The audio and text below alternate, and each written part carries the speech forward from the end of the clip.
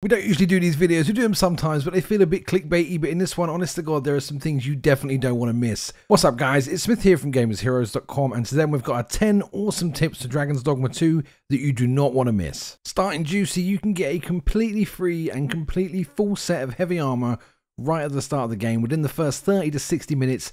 Head to Vernworth, which is the capital of this region. Once you're there, you want to head to the gates of the castle, which you can find at this location just here. Once you are in the gates, simply head in towards the jail and you will find a well. Climb to the bottom of the well, head to the end to get a chest. This heavy armor will last you till at least 10 20 hours in if you upgrade it. It's really good and a fantastic start to the game. Next up, how does immortality sound? Well, unless you dive off a cliff, we can't help you there. However, there is a trick to never dying in combat, whether you're fighting ogres, trolls, chimeras, goblins, whatever you want to call it. When you die and your HP goes down to zero, you will have a very brief second in which you can pause the game and apply some kind of potion or restorative. You can see here my health at the bottom is very, very close to dead. The next time I'm going to get hit by this big fugly troll, he's definitely going to take me down. Quick pause, throw in the potion, you're back on your feet. Awesome tip number eight, get on the housing ladder as quickly as you can. You can get a free house, sort of, which answers a few of the problems this game will give you, namely that sleeping is not cheap and you really want to learn how to use the save system effectively. Much like the free armor set from the start of the video, you can actually grab this house very early on. All you have to do is head straight to Vernworth, Head to this road here, you'll be approached by a lady that wants you to look after a house. You can then go to a house and for the next seven days, you can use it completely for free. You can use the storage and the bed for a free save point and a free heal. After the seven days, she comes back and it's 20,000, which is not a lot of money. I suggest you prioritize this over everything else in terms of your spending. Awesome tip number seven, understanding the saves and manipulating them to your advantage. There are two main saves in the game, an active save and an inn save. The active save is one where you save on the menu using the system option. The inn save is whenever you rest in a bed or an inn in your house, you will get an inn save. Now it's important to use these two in, in combination with each other because it will help you on some of the quests where there's a difficult decision to make, a choice or a different outcome that you didn't like. Always use your inn save. Rest every chance you can at an inn before you're about to do something important. Then it doesn't matter what happens if the game auto saves after your main save, you've always got an inn save. So make sure that you save there as often as you can. Bit of a no-brainer this one, but use the environment to your advantage. The smaller enemies like goblins don't drop a lot of great loot.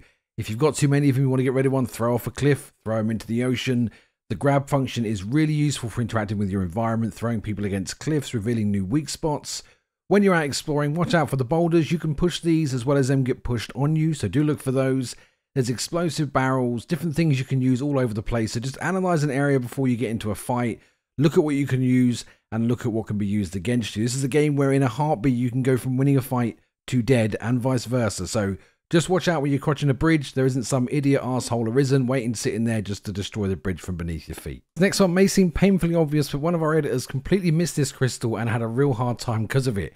As soon as you get to Vernworth, head to this location here, the first visit, and you will find the port crystal. These are the devices that you can use the ferry stones to fast travel back to. They are incredibly rare and most towns don't have them. You're going to spend a lot of time here, so the fast travel option back is vital. Next up, storage. Store, store, store. Whenever you get back to your home base, whenever you get to a tavern or an inn, store all of your perishables, your fruit, your vegetables, your flowers. These are all used to make the curatives in the game, and they do rot over time. They will ripen some of them and then rot, but once they are gone, they are gone. They do not rot in your deposit box. Keep all your stuff safe in storage. There are a lot of quests, a lot of side activities to get lost in in Dragon's Dogma 2. It's actually fantastic, and the pawns are really, really vital. Whenever you've got a quest, look for this little pawn icon here. The different colored hand just depicts which pawn you've got. If they have experience in that and the quest helper trait, you can request them to help you. Make it your quest Use the go command and they will run you to the location. This is really good if you haven't got an objective marker and they know where to go. So make sure you check this out. It should allow you to stay in-game a little bit more without having to look up so many guides on YouTube and whatnot. There is a potential for a huge mistake with enhancing, so be very careful here. Early on, you're fine, you're good to go. As you progress through the game, you're going to want to pay a bit more attention to this. So have a look on the screen here. You can see at the top here, Vermundian. That is the style of this particular blacksmith. This particular blacksmith, when enhancing, will treat all stats fairly equally. There are other towns and locations in the game where you might get increased strength and defense but decreased magic abilities. So if you don't pay attention to those and you put a lot of upgrades, for example, on a wand and not give it any magic, on the really expensive and rare items, you're going to make it a lot weaker than it could be. So make sure when you're out and you're enhancing, Pay attention, as I said, early doors when you've got the cheap weapons, it's not a problem. Just pay attention when you've got the really cool fire weapons and that kind of stuff. And last but not least, the courtly attire. Do not sell any of your courtly attire items unless you've got one set put by. There are a number of locations and quests in the game that require you to be dressed appropriately or you can't gain access. They are required items, so there is a way to buy them back if you've run out, but they're 300,000 gold pieces a piece. So you want to find two of these, the top and the bottoms. You can find them in the Noble Quarter. Once you've got one set, put them away. You can sell the rest. Just make sure you always keep that one set to hand. Tell you what, it has been many years since I feel like we've had a proper RPG. Not shitting on the recent greats, Final Fantasy, Yakuza, they've all got their own place but just a good old fashioned RPG. Doesn't hold your hands, just throws you to the wilds and gives you a sword to deal with it all. Absolutely loving this game. I hope you guys are enjoying it. If you've got any extra tips and tricks to share with our viewers, do post a comment down below and make sure you check the pinned comment out for our complete walkthrough guide collection. It's got a ton of different guides on a ton of different subjects. And I'll see you guys in the next one. Take care now.